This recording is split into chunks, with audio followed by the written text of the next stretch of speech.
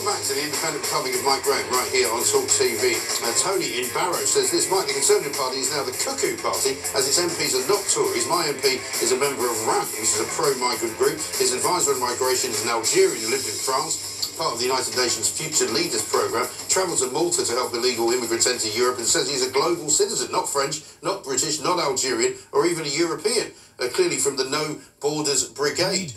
Um, and one here from... Uh,